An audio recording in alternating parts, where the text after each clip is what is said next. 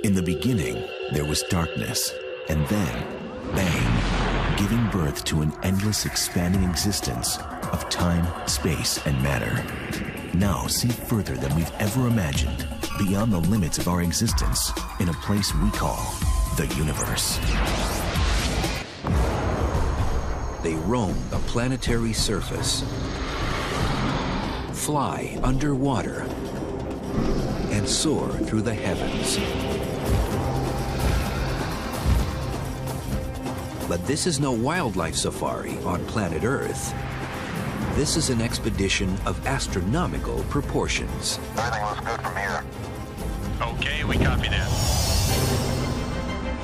When the human race discovers it is not alone, what will our cosmic brothers and sisters look like? To answer this question, leading astronomers and astrobiologists have applied the principles of evolution and physics to five types of alien worlds likely to be found in the cosmos. These are the creatures that could be out there.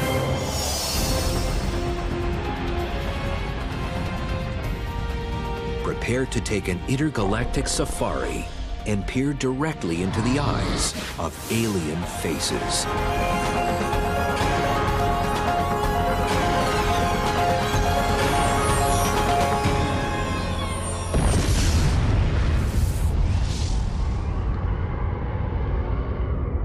The universe.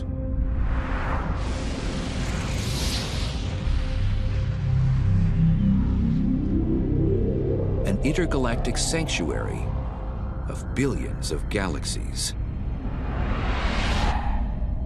and trillions of stars.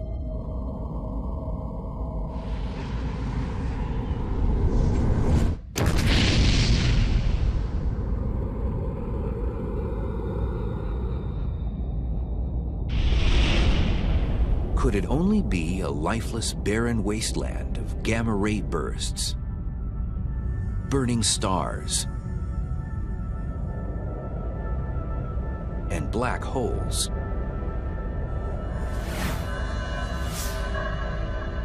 Or does life exist beyond Earth in this cosmic paradise? Do alien faces gaze towards us, pondering the age-old question, are we alone? Scientists are still searching for the first signs of life beyond our planet, but many are convinced it's out there, waiting for us to find it. But what on earth, if anything, would it look like?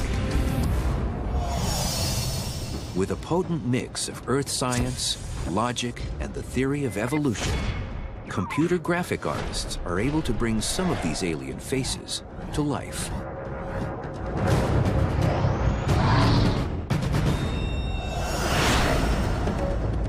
And to come face to face with these extraterrestrial creations, we will embark on a fantasy safari through the unexplored reaches of the universe, like a tourist in an intergalactic zoo. Our first stop, the theoretical planet Aranel.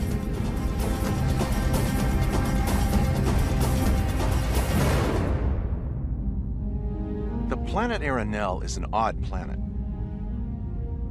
First of all, it doesn't circle around a star like our sun. It circles around a little red dwarf. These are tiny stars. They're sometimes a fifth, a sixth the size of our sun. So the habitable zone is going to be much closer to that star. This habitable zone is a crucial piece of the puzzle when understanding the evolution of life on any alien planet. A habitable zone in a solar system is the distance from the star where water can exist as a liquid on the surface. It gets enough heat energy from the star to have liquid water and stay liquid water. Liquid water is one of the basic elements for life to begin. But on Aranel, the habitable zone is so close to this glowing ball of burning gas, the star's gravity causes Aranel to be tidally locked, much like Earth's moon, as we only see one side of the lunar surface at all times.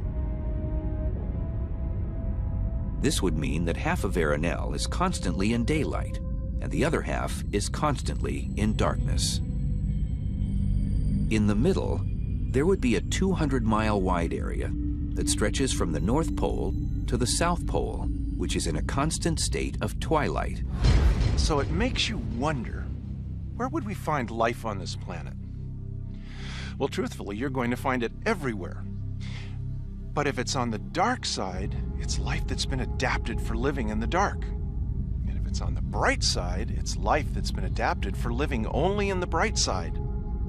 And in this twilight zone area, you're going to find creatures that are adapted for both.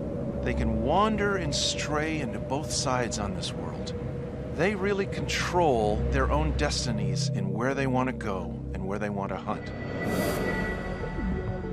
On Arenal, you're going to have a photosynthetic organism, probably likely in the marine environment, a red alga, or a bacteria that will be adapted to taking in infrared light and taking what energy it can out of that and making food. On land, it would probably be a lichen-like thing because it's cold, mosses that would be adapted that way. You're to have organisms that are going to feed off those. This algae on Arenal represents the bottom of a very long food chain. Everything plays a vital role for survival, from the plant life to the larger, more complex creatures. One example on Arenal that uses this algae as a food source is the insect known as an acom. The are a bizarre little creature. On Earth, we know of what we call metamorphosis. It's the odd ability of a creature to change from one shape to another. We see it in butterflies. Caterpillar eating in your garden will climb up on the fence, spin a cocoon, months later hatch out into a butterfly. These do that too, but they do it in a very odd way. They look almost eel-like with two sets of fins that stick out on either side. At some peculiar moment, they move over to some of the plant life, lock themselves in, and attach themselves and form a shell around them. When that shell splits, out comes something that we've never seen before. Taking the hydrogen from the water, splitting the hydrogen from the oxygen, it inflates a little bubble and they lift right out of the water. The breeze is picking them up, carrying them to high altitudes, spreading them out over the planet towards the twilight zones as the breezes move. And they're almost like parachutists coming back down. Once the acoms reach the ground, they immediately create a burrow where they primarily live. But as the acoms scavenge through the dirt for food, they're hunted from above by one of the next links in the food chain, the penapod. Now, one of the creatures that we'd find most interesting on this world is the penapod. It's an odd little creature because its eyes wrap all the way around so it can see any movement behind it. In the twilight zone of Aranel, it is going to be very dark and cold due to the low light of its star. And the hunters, or even the hunted, will have developed large eyes like owls or other nocturnal creatures here on Earth. But there's an interesting adaptation that developed in most creatures on Arenal. Arenal orbits an M star. M stars emit most of their light in infrared. Infrared is the light that, uh, it's actually heat that you feel when you open up the oven. That's what these creatures would see. They would see the heat expended by their bodies in the world around them. It would look very different than it does to you or me. To see heat signatures on the dark side of the planet is one of the biggest links on the food chain of Aranel. The Kurja, a cunning advantage.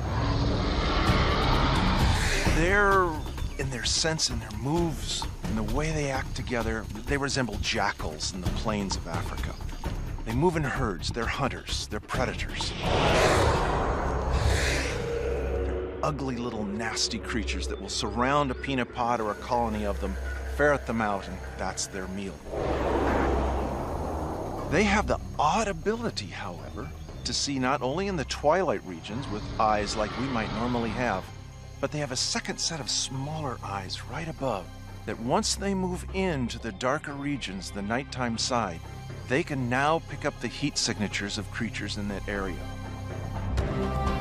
These are only a few of the creatures that could live on a planet like Arenell. But at least for now, they are simply a product of our imagination. In science, we can sit there and we can imagine life elsewhere.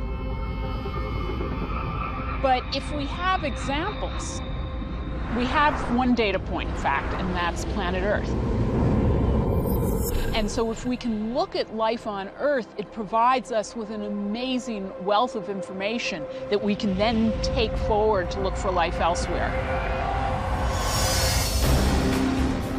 We have a variety of ecosystems that we can study and we can look at challenges. What are in ecosystems? What challenges do living things face? And we can apply these principles to alien life. To understand how these principles can be applied, we must continue our intergalactic fantasy safari. We leave the surface of Aranel and zip across the cosmos 322 light years away to a new solar system and the theoretical planet AG-143. AG-143 is bigger than the Earth, much bigger than the Earth. It has a beautiful ring system that circles around it. But more importantly, it is a big, gigantic, dry desert with three times the gravitational field that we feel here on the Earth. A human weighing in at 175 pounds on Earth would step off onto the surface of AG-143 to weigh about 525 pounds. Certainly, life would need to adapt. But how? David Aguilar of Harvard University's Center for Astrophysics believes the best way to envision the adaptations of complex alien life forms is by looking at the variety of creatures that have evolved to inhabit the diverse ecosystems of our own world. We're here at the North Carolina Zoo because of all the zoos in the country right now, this is very special. It is large. It's big. And the environments here duplicate the different environments we find on our planet. This here today is a marvelous example of the variety of life on our planet. And within this variety of life on Earth, Aguilar believes that creatures supporting an extremely heavy structure become the perfect model for understanding evolution on AG-143. When we talk about an animal adapted for a heavy world environment, a world with more gravity, this is it. Look at what we have out here, the prototype legs that can suspend a huge body. Of course, we would have to move him down, move him closer to the ground. But this is perfect what we would see. Shorter, squattier, but heavy like this, adapted to a planet with much stronger gravity. Although life forms on AG-143 have certain comparable characteristics to creatures on Earth, their alien faces are beyond anything found on our planet.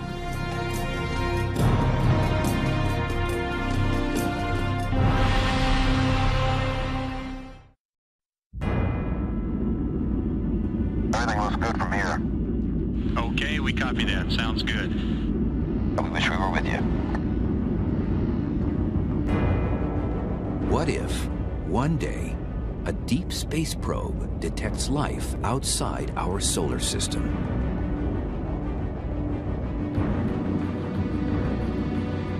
What would an alien look like? To better understand these otherworldly creatures and how they might have evolved, scientists believe you must first understand a few simple concepts about the physical environments where life might begin. When looking at planets around distant stars, there are two factors that we scientists zero in on. First is distance to the mother star. That determines how much energy you have and whether or not you have liquid water.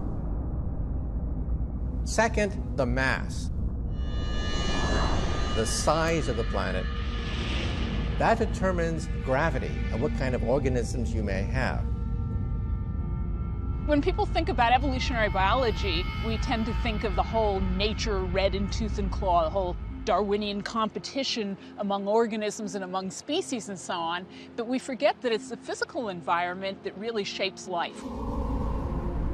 What gravity you have, what temperature, what pressure, what composition the atmosphere is, if there is any atmosphere, and so on.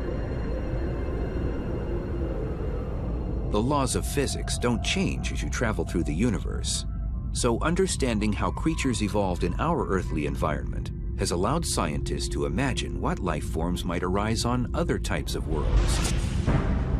Like the theoretical planet AG-143. AG-143 orbits a bright F-class star. Only 10% of this world is covered with surface water, and pockets of this liquid H2O collect under the sands from sparse rainfall. The environment on AG-143 is hot, arid, and the sunshine extremely bright. Now, because the star is an F-class star, okay, which is brighter than the sun, you're going to have UV output, ultraviolet light output. So, the organisms there are going to have to somehow be shielded uh, either in the atmosphere or in their own coverings. These coverings may be in the form of thick shells or other exteriors that would absorb the harsh UV radiation. But the creatures on AG-143 would also develop other physical characteristics that are unique to this world. It's really interesting to imagine what life might be like on a planet with higher gravity. Well, from a microbe's point of view, there might not be a whole lot of difference. Where the differences would start to come is when you go out and land, for example, and there you have to worry about standing up. Oh, darn gravity, you know, I just, I just can't pull myself up. But another byproduct of strong gravity may also give rise to an unlikely cast of characters on the surface of AG-143 or rather slightly above the surface. On Earth, our atmosphere is 79% nitrogen, 20% oxygen, and 1% other gases that is held in place due to the gravitational pull of the Earth. But on a planet like AG-143, the stronger gravity would hold a much thicker atmosphere, perfect for achieving flight it may also hold a much higher level of oxygen. We went through a period a couple of hundred million years ago where we think the Earth had a higher concentration of oxygen for a while. And what we see in the fossil record is giant insects, huge wings, giant flying organisms because if you think about it, you have more oxygen for metabolism, so you can do things with more energy. It's like taking in a higher oxygen with a, an oxygen tank or something, and you feel all pumped up. And that's how these organisms must have felt. With a thicker atmosphere and higher concentration of oxygen, the skies of AG-143 would be full of large flying creatures that could stay airborne for as long as they need one example could be the sargon. This creature would live most of its life soaring through the atmosphere, looking for pockets of water that scarcely pepper the planet. Once the sargon finds a watering hole, they swoop down in hopes to not only drink, but hunt any creatures that may have found their way to the oasis. A creature like the moblant. At first sight, you might almost mistake a moblot for a starfish. It has stubby little arms that it moves across the desert. But the odd thing about these arms is they have long tentacles that probe the sand for pockets of precious water that may be hidden. And the odd thing about this creature is if it finds a large, large pocket of water, it begins pulling the water up like it's pulling it up a well. And it grows in size and it grows in size and stores the water up like a camel does adaptations to locate and store water are crucial for survival. To be stuck out in the middle of a desert, hundreds of miles from anything resembling a liquid would be a death sentence for almost any Earth creature. The same would be true for life on our theoretical planet AG-143. This is why the Pholus lives primarily near the water deposits, so that it will remain close to this precious commodity. One of the most bizarre creatures on AG-143 is the Pholus. They're short, squatty, it's a mouth supported by three legs on a pedestal platform that has scales underneath. It glides across the sand almost like a sidewinder as it moves. It has the uncanny ability to sense chemically whether or not its prey is nearby. It hunts around the edges of streams and small little lakes and if it finds its prey, it suddenly stops, freezes, and camouflages itself so that it almost becomes invisible, waiting. Until a hapless creature moves and then suddenly, cut it snaps. It's found its dinner. And the Pholus's method of movement, gliding across the surface like a snake on grass, is another evolutionary characteristic caused by the stronger gravity of the planet. To slide with scales rather than lifting a leg would be a lot easier for any creature. That, and it offers a quiet advantage over its prey. They may never hear the Pholus coming. But as the food chain goes on AG-143, nothing is safe. For lurking in these pools of water lies a silent but deadly creature known as the Hethor. As we end our examination of the food chain on AG-143, we've seen the extreme challenges that creatures on a world with little surface water and higher gravity must overcome. But what if the planetary conditions were reversed? What if a planet had a suitable amount of water for life? but also a much weaker gravitational force? The answer might lie right above our heads, in the skies above the Earth. On our intergalactic safari, we've seen how leading astrobiologists used present-day Earth science to hypothesize about the size, shape, and behavior of creatures on an imaginary world with much stronger gravity than Earth.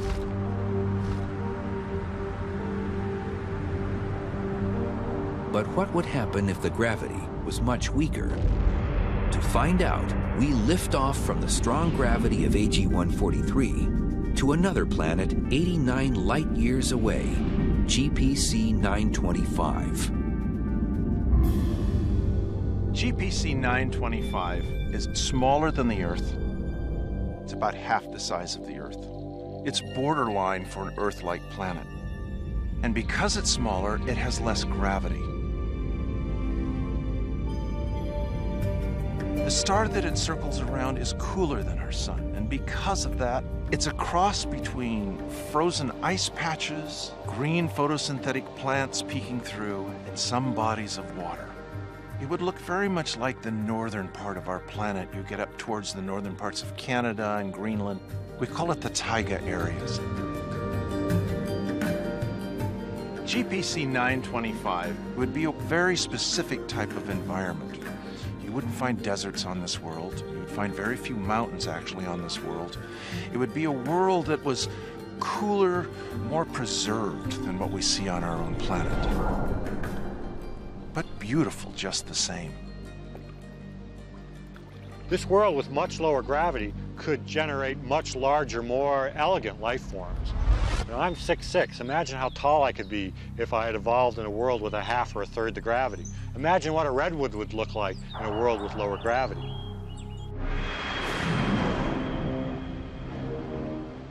These types of gravitational effects on the surface life would shape and model different characteristics it would also appear that on a world like GPC 925,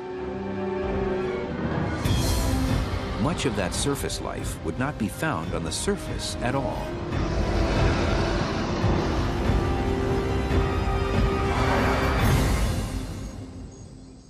Here we are in the aviary. Up in these trees are the remnants of the dinosaurs. This is what was left behind when the dinosaurs passed on. These birds are meant to fly. Their bones are hollow, their feathers locked together. These birds were meant to rule the skies. But on a low gravity planet, this is what you would see that would rule the planet. Because gravity is going to be light, flight is going to be very easy. And flight is something that's been done on Earth by a number of organisms in different ways. Bats stretch membranes between their fingers and create wings to fly. Flying squirrels put flaps out of their fur and glide that way. But not everything on GPC 925 is comparable to creatures on Earth. The strangest of the airborne creatures one could imagine are the lolligars. Imagine floating sacs that almost look like inflated lungs. With long, long, long tentacles hanging down that drape along the countryside as they slowly move and float over the scenery. Heated by internal heat inside, the warm air inflates their sacs. They almost look like jellyfish floating through the air. And like jellyfish, they sting and grab anything that scurries over the ground in front of them. To see them moving, bobbing up and down in the wind like a herd of, of, of psychedelic jellyfish is something beyond what we can imagine. And yet here, it's quite common. Even life on the ground would push the limits of science as we know it. When we take a look at this world, think of the sway stacks. They look like they are long stalks that extend 15, 20, 30 feet into the air. Numerous ones coming up with a bulb on the end. They sway in the wind, but what's amazing is these aren't plants. These are animals with roots that pick up and slowly move across the planet's surface and anchor themselves back down, swaying in the wind with a weight for any creature that happens by. As the creature moves by, the top of them, like little frisbees, shoot off and wedge into the side of the creature, into their leg, into their carapace, into their hair, stuck for the moment. As they move on, they reach a new area, they drop off and they begin growing all over again. They're simply spreading their seeds with these tiny little discs flying through the air once they sense something moving by. On this planet, we see similar things with the plants and the weeds that grow here, but nothing to this size and extent. And the idea that we begin crossing plants that look like animals and animals that look like plants, this is a bizarre world indeed. Creatures like the sway stacks and the lollygars would enjoy an adequate amount of water on GPC 925. But what would happen on a world where there was even more water? A lot more. Specifically, a planet with no land whatsoever. A water world.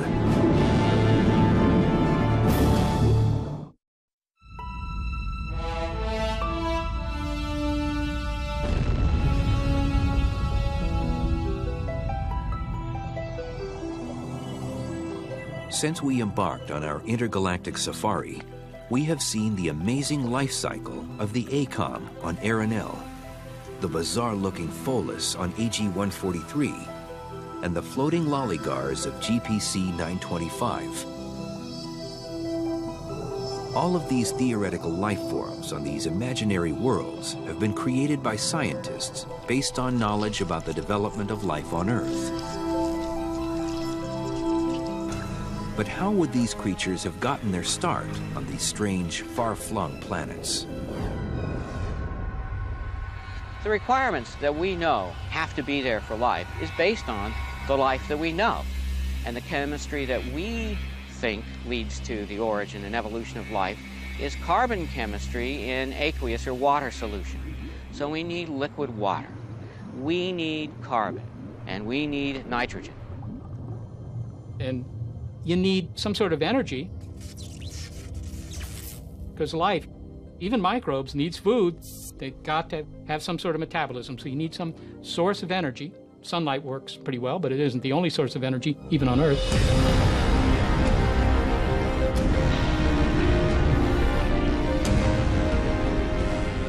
For hundreds of years, scientists believed that sunlight was the only energy source for life.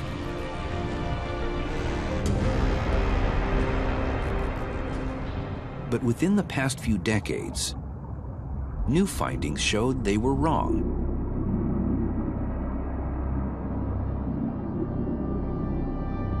Boiling water temperatures found around hydrothermal vents on the seafloor were once believed to be incompatible with life. But recently, scientists have discovered the areas around these black smokers are perfectly suitable for a flourishing underwater community.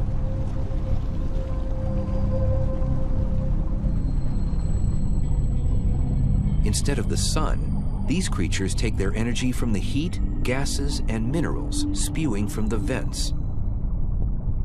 These highly tenacious life forms are known as extremophiles. The existence of extremophiles broadens our aspects of what we think organisms can do and what we know organisms can do. In other words, if you look at all of the different kinds of environments that we find here on Earth, it ranges from extremely cold to extremely hot to acid to alkaline. Just about anything you can think of, and just about everywhere you find life. The fact that life is found at all on Earth is due in large part to our position in the solar system.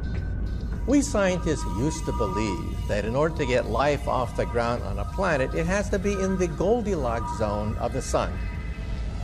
Not too close, because water will boil, not too far, because water will freeze, but just right to have a liquid ocean out of which DNA can form.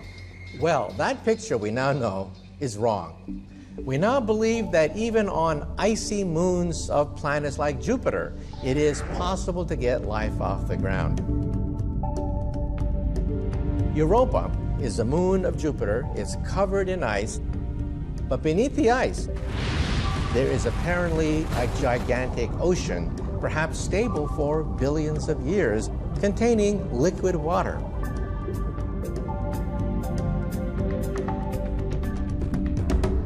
And so that sent the physicists and so on scrambling. How could you end up with liquid water so far away from the sun? Now, what it turns out the idea is, is that there's something called tidal flexing.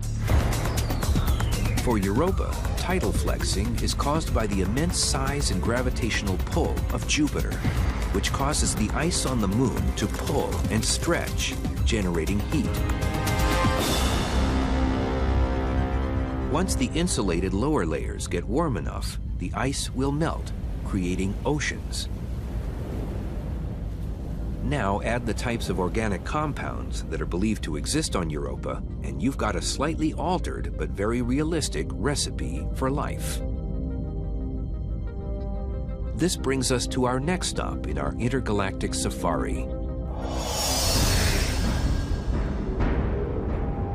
As we leave the busy skies of GPC 925 behind, we can travel 72 light years to a theoretical gas giant known as Ynir G, a planet circled by eight moons. Normally, we wouldn't bother with Ynir G. It's a gas giant, and we don't think life could exist on these worlds. The world we're interested in is the moon Anarbas. It's about twice the size of Mercury. It's a world very similar to the moon Europa that circles around Jupiter. Imagine a planet covered with oceans, and on the surface, ice. A lot of ice that locks everything inside. There's no ground to walk on this planet. But inside these oceans, they could be teeming with life.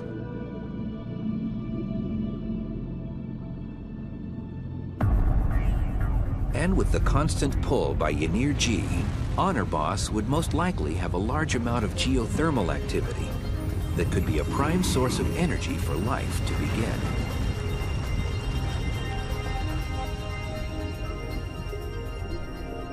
Near the surface on Anarbas, small amounts of light may bleed through the thinner areas of ice to the water below. Here, some creatures may have evolved eyes. This may provide them with advantages, but would also make them vulnerable to certain defense techniques. One example of a cunning underwater escape artist is the Amabos. To us, light is just light. But think of the Amabos, a small little, almost gelatinous looking creature that swims through the water. Innocent. Anything comes close to it that threatens it, it throws out a brilliant flash of sparkling lights all around it, blinding whatever creature came up to it. And in that moment, it's gone.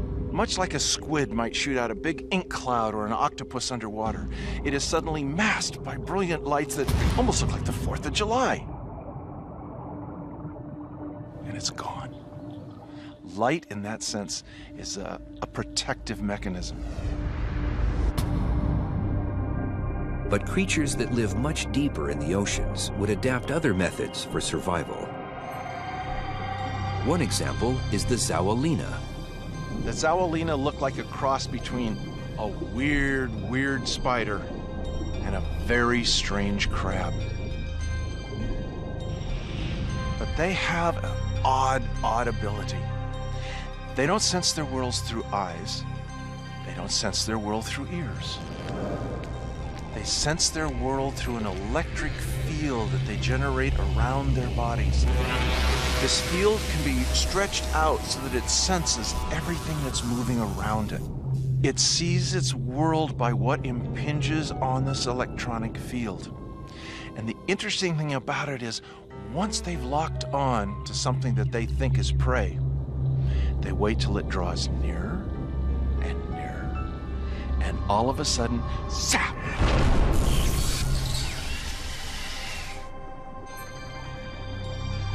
A huge bolt of electricity jets out, stuns their prey, and a tentacle whips out and grabs it and pulls it right in. It hunts by using electricity. As we see the immense challenges that creatures like this would have to overcome in a water world, there is one last factor yet to explore.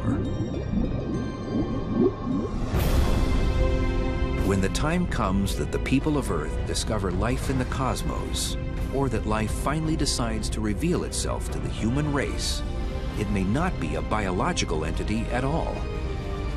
Rather than flesh, blood, and carbon, we might be met with steel and silicon. A machine.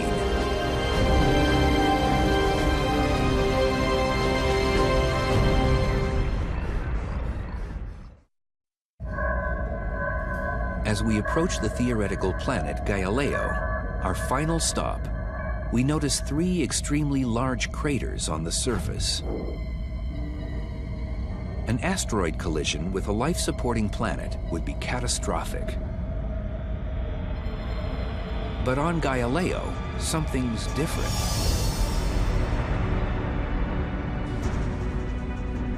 We approach the surface and see tiny mechanical creatures roaming around.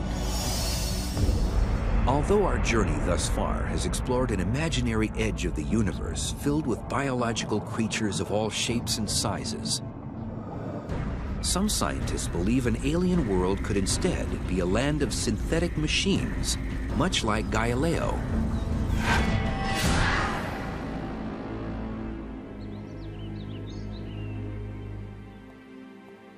Dr. Seth Shostak of the Search for Extraterrestrial Intelligence, or SETI Institute, believes that when life beyond Earth is discovered, our cosmic relative may be made of steel and silicon rather than flesh and blood.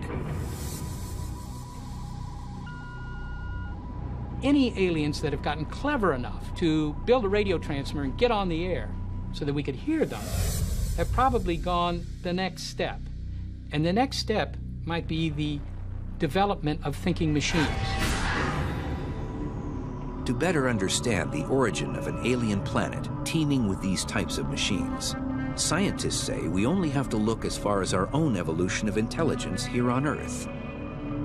Specifically, artificial intelligence.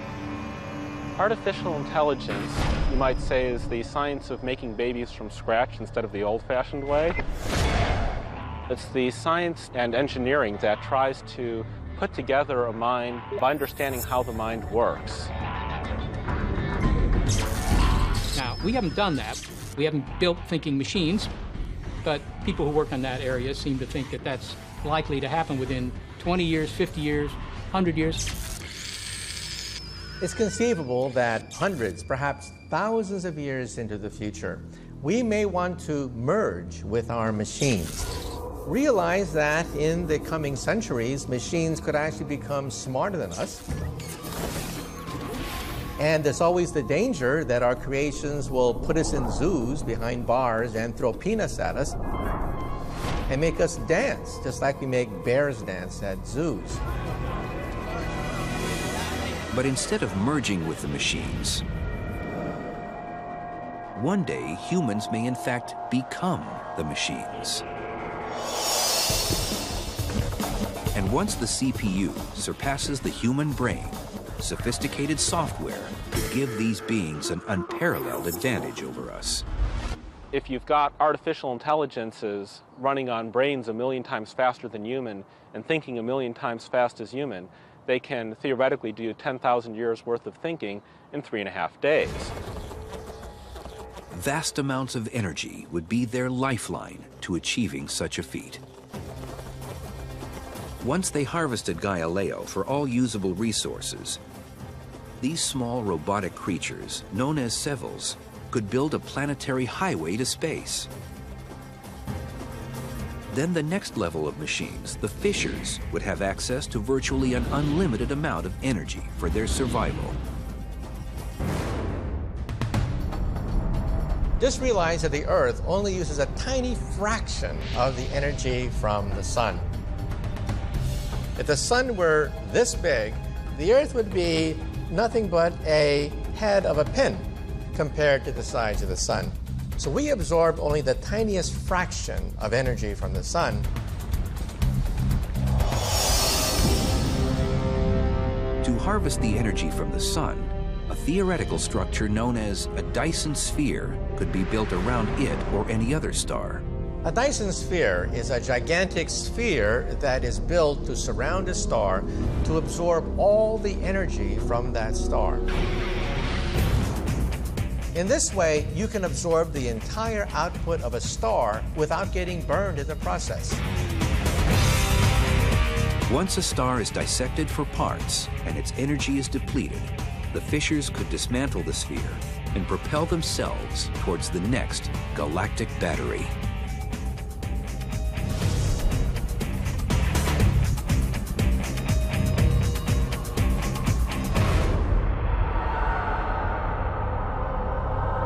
Scientists are correct, this rise of the machines may even happen on a planet closer to home.